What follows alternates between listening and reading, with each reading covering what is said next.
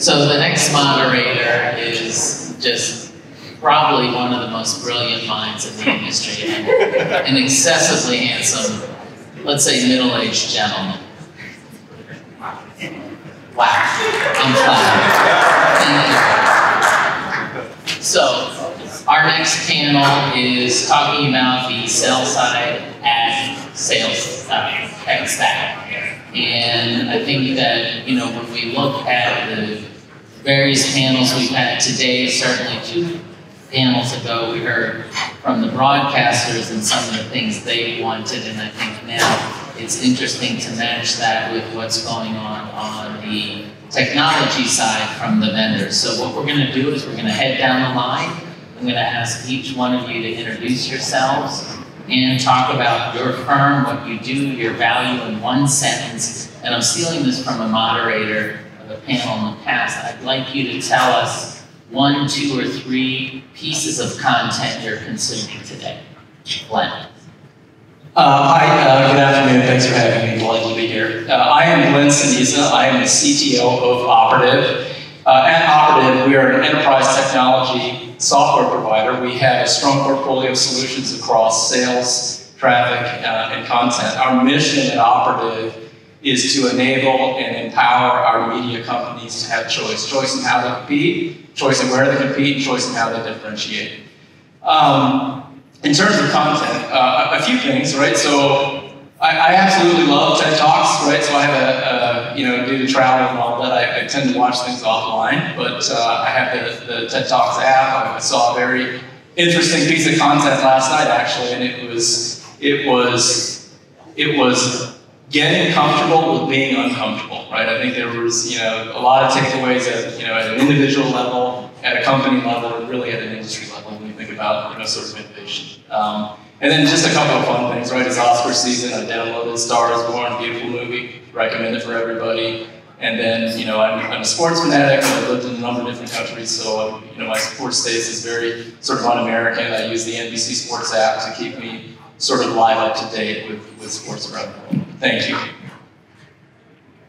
My name, my name is Michael Sessions, and uh, I work for. Uh, who do I work for? Oh, yes. Uh, sorry, uh, I work for Extreme Reach, and uh, our company uh, handles the movement of ad created from the buy side to the sell side. And, uh, we're working on a number of solutions for the sell side, which is my responsibility to help build out some of those. And uh, let's see, this is that question of uh, if you were a color, what color would you be? Is this kind of the, the media thing? You know, I like um, movies that take some you know very scientific concepts and put them into a very questioning place, like uh, oh, Interstellar or uh, uh, what's the what's the one? AI one. I'm sorry, forgetting the name of it. Anyway. And then I've become a junkie of uh, news. I think that's the new WWF combined with uh, reality TV. Some of the things have to turn it off and walk away, but uh, it's, it's uh, I don't know, it makes you mad, it makes you crazy, it, uh, but it's kind of fun to watch the crash happen in the middle. Good afternoon, everybody. I'm glad that everyone got a drink and a time to refresh. Hopefully, uh, we can keep you awake. My name is Tim Swift. I'm the VP of Platform Services at WideOrbit. Um, by way of context, I uh, previously had a broadcast hat, now vendor hat, bringing to the uh, bringing to the table. WideOrbit, many of you are familiar with, but uh, we provide a full suite from uh, order to cash, as far as uh, on the on the sell side of things and uh, addressing the broadcast world. My media consumption at the moment uh, most recently was a, Audible book. Michelle Obama's Becoming was this morning what I, what I was listening to as I ran.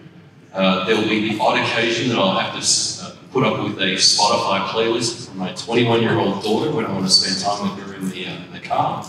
And uh, beyond that, if I get some time to myself, I'm uh, subjecting myself to Jack Ryan, um, the, the Prime series.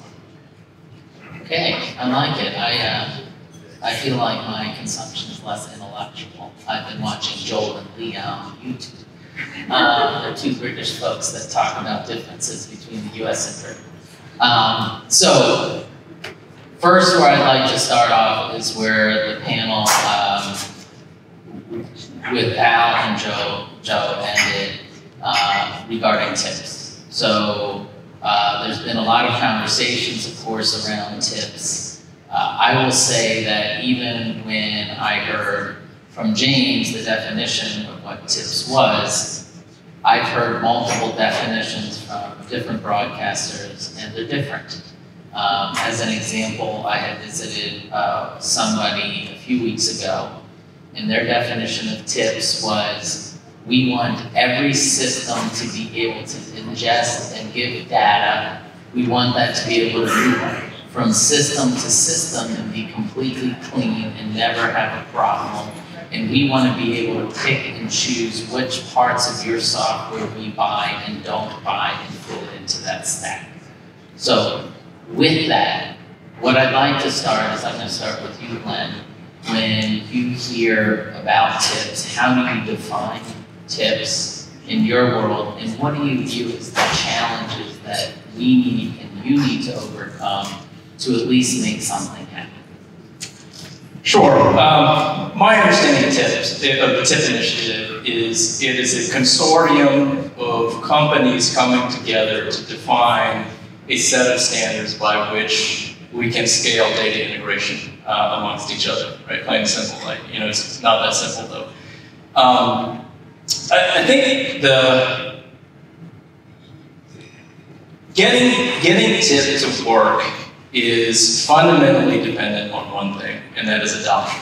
And you know, adoption will live and fail depending on setting appropriate expectations for what we want the TIP initiative to accomplish. I think if we set a very high bar and say, okay, we're going to define a set of canonical data schemas that are going to be 100% all-encompassing across all vendors and everybody needs to follow this, I believe that's setting a bar that is setting us up for disillusionment. When you have disillusionment, you're, you're going to get failed adoption. And I think if we approach TIP, I think, you know, first and foremost, I think the vendors themselves need to collaborate.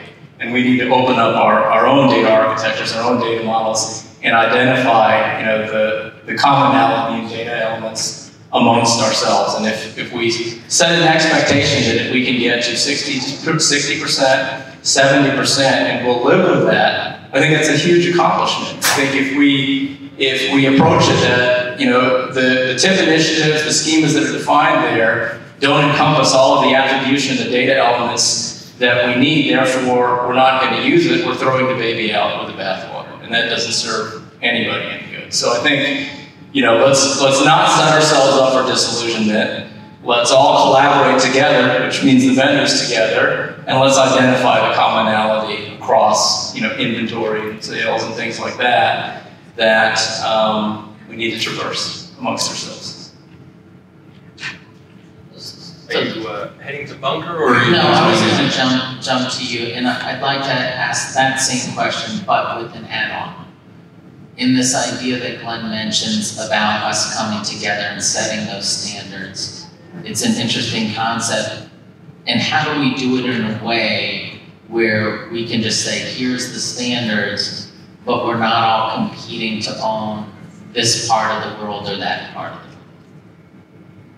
Well, I think the first thing that probably needs to be addressed is that as, as far as the TIP initiative has, uh, as far as it has gone to date with the, um, it being brought about by a number of the broadcasters, um, they've done a phenomenal job to be able to architect some of these standards there's a recognition that the execution of those, of that architecture, needs to then engage the vendors to be able to execute on. Um, so that is, I think, probably the first step that really needs to occur in order to in order to actually address how TIP will actually continue to progress. Then heading on to Glen's statement about the vendors coming together, absolutely. Without that, it, it is going to fail. Um, the execution piece as it relates to um, the development of software. Um, standards by themselves don't achieve anything.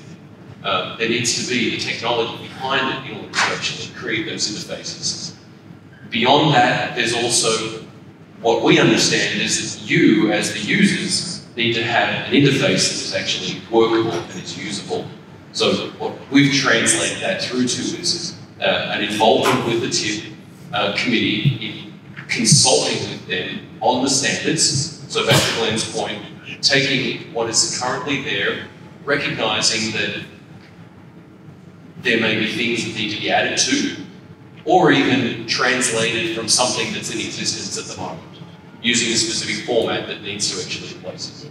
Is, is tips about just current technology and getting it all to work, or does it address the idea, and I mentioned this to you back there, is that this idea that at some point in time, and we'll get to your question next on this, where we can learn from you, Bunker, at some point in time, somebody's gonna say, I have this great idea to take advantage of this new technology. For example, you look at smart, smart speakers maybe there's a certain point in time when Google and and uh, Amazon open up how you might be able to advertise. Somebody comes up with certain technologies that take advantage of that.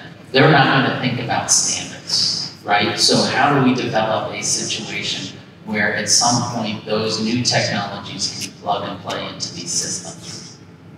Well, I think it behooves us as technology providers to be thinking that far forward.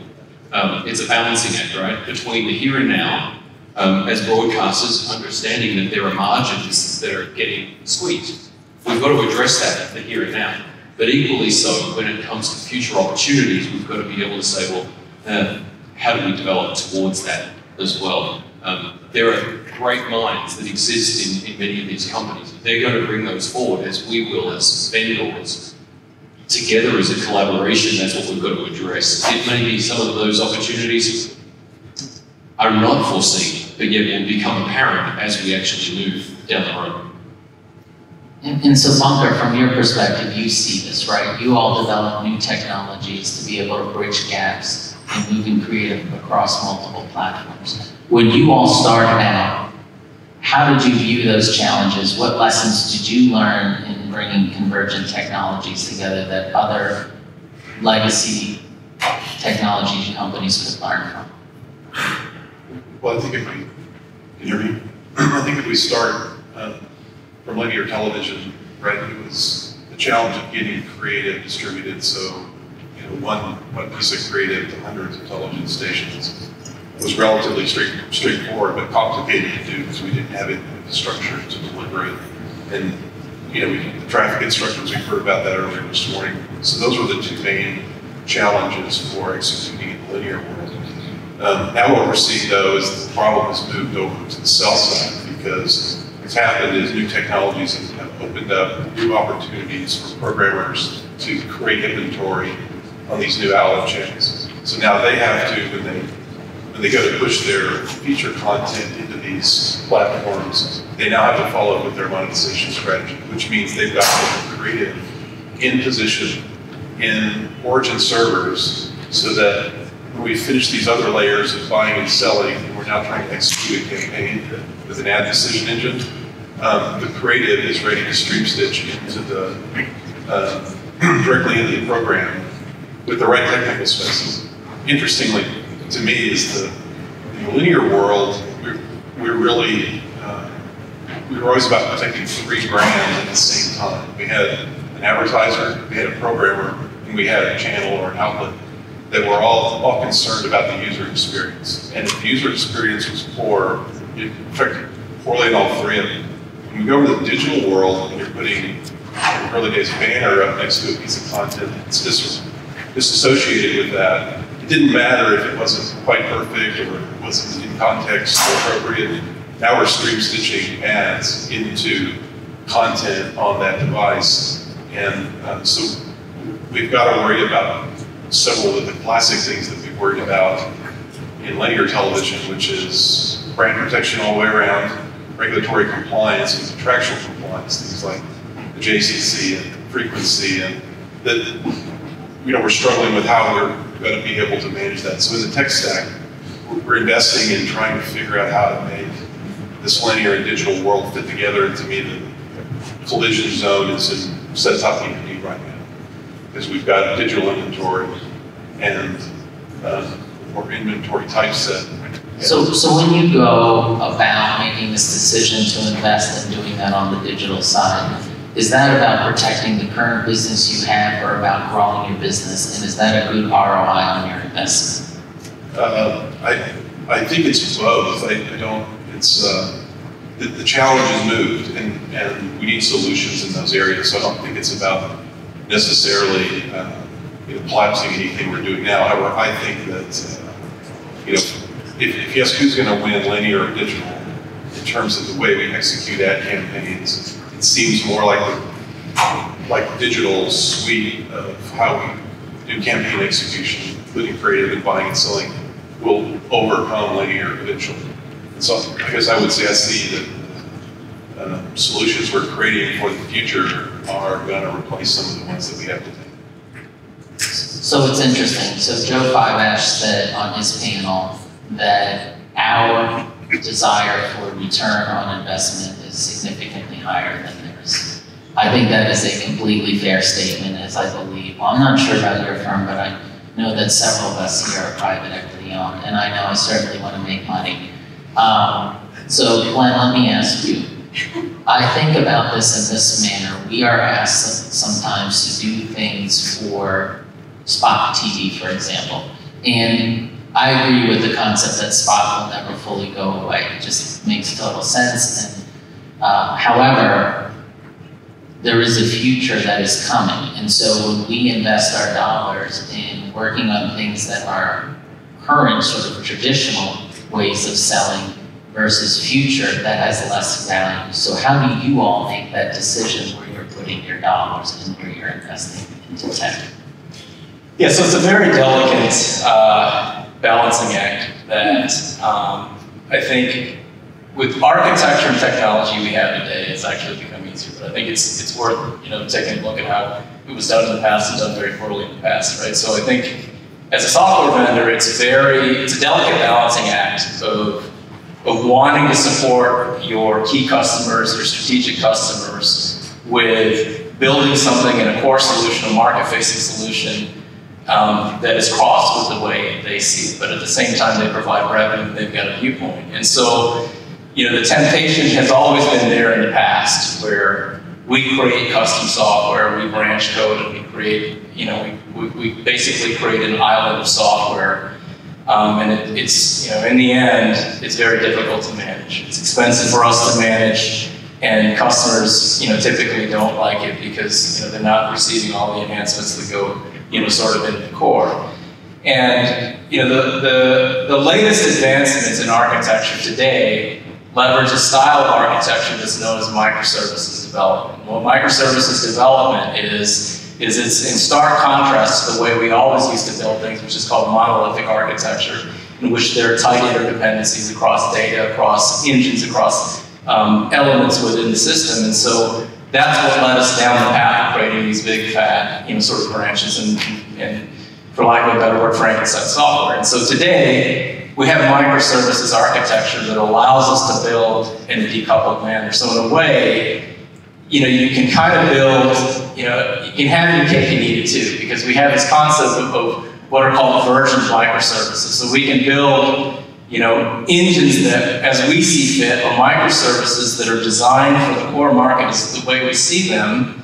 And if customers, you know, want us to enhance that in a way that gives them differentiating capability in the market, we can version off of microservice. But that microservice, since it's decoupled, operates, still operates with everything else. So from that perspective, you get away out of, you know, you get away from building, you know, um, customize software and get away and, and establish something that is very scalable. You still have a core product and you give the customer the differentiation that they that they need.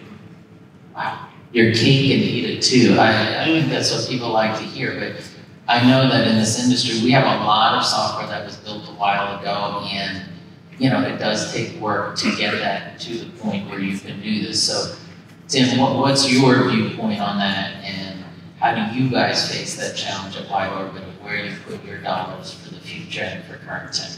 Well, one, one thing I'll certainly say is I'll echo Glen said delicately.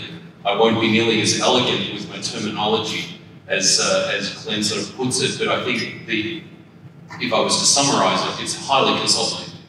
Uh, on one side, as Glen indicated, um, our customers drive revenue. We have to meet their needs. At the same time, there is a, a looking into the future, and, and WideOrbit has been one that has, I guess, been very much at the forefront of pushing in certain areas, spending dollars in, let's call it programmatic, in an area that we've foreseen the industry needs to go. Um, at the same time, now let's talk, you know, reality around that is that in pushing things forward, you still need to talk and listen to your to your customers. And so there are times, and quite recently that's actually been the case in WideOrbit, where there has actually been a pivot um, to be able to say, hey, we recognize who our clients are, we're going to meet their needs, we will pivot and address those needs, and then as far as meeting what the industry is actually going to require, hmm, maybe the approach that we once took of attempting to build what we would call a full super stack may not have been actually the way to go. Maybe in our humility we sit back and say, hmm, we need to actually open up and integrate with others to be able to create a full suite of solutions. So I would simply say consolidate in the end. So it's interesting because we talk about this idea of opening up, which I think, um, you know, as, Al said, I, I give the broadcasters credit in that they have pushed the vendors to be more open, and I think that's a great thing, and it's time for us to step up. I would say my prediction over the next one to four years is there is going to be massive consolidation in the vendor space. So while we're going to be open, I think there's actually going to be um, several larger, almost fully end-to-end solutions rebuilt into those, yet they'll work across each other. What do you guys think? I'm just gonna go right down the line. I'm gonna go I, so I, I, no one will argue with, you know, at this point in time that, you know, everything needs to be open. We need to follow open, open standards. We need to have canonical standards. We need to use, you know, real-time interfaces using things like REST. But in addition to that, I'm going to go a step farther, is that I believe that, that we need to we need to embrace a heterogeneous world, right? Where it's not all one vendor.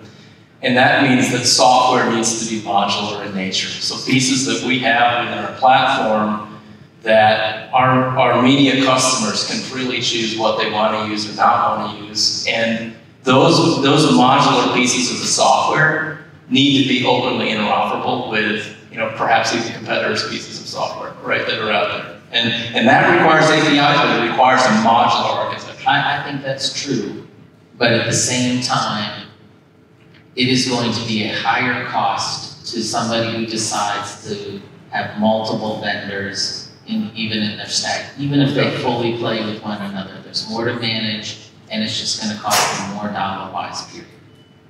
Without a doubt, it's going to cost more to manage multiple vendors, but you're, you're also, you know, you know, dealing with systems that, you know, have been entrenched there for a long period of time and they work and it costs significant money to unfork all of that when you may just want, you know, a new engine to do one aspect. And, and you know, I think as software vendors, we need to build modular, right? the technology and the architecture advancements are there that we build modular architecture. That's what microservices is all about.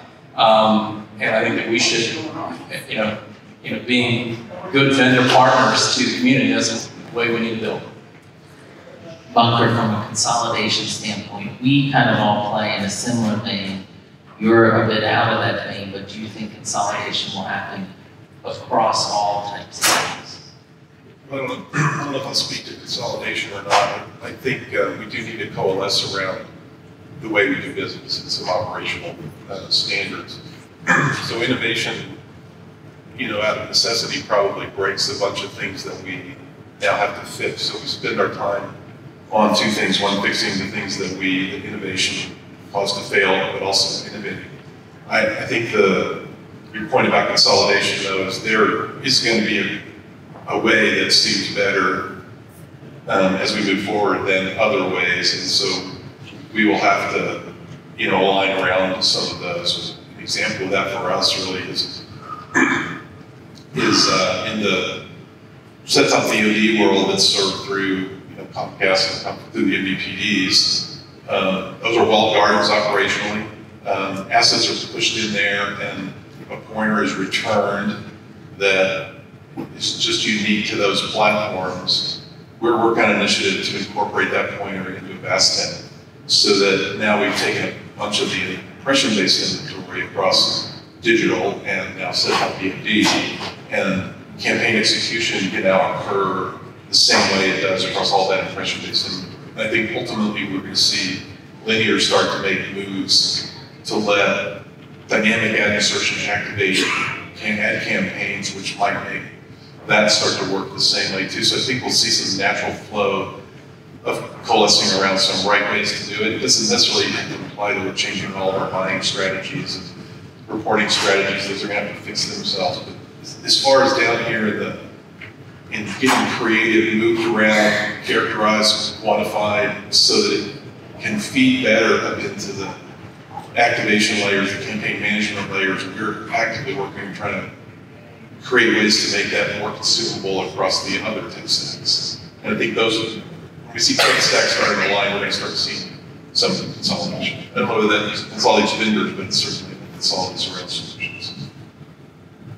I'd like to hit on two things in particular. Um, one, as it relates to, let's call it modularizing the, um, the, the platforms themselves. I can appreciate that there's an, an option there to, to modularize, um, but absolutely have to agree to the point that there is, when that occurs, there is fragmentation, there is cost that's associated with that in between attempting to maintain those Um, there's a really good case study on that apparently tomorrow morning if anyone's interested about best of versus best, best in class, right? Come and attend that one tomorrow, here 10.30.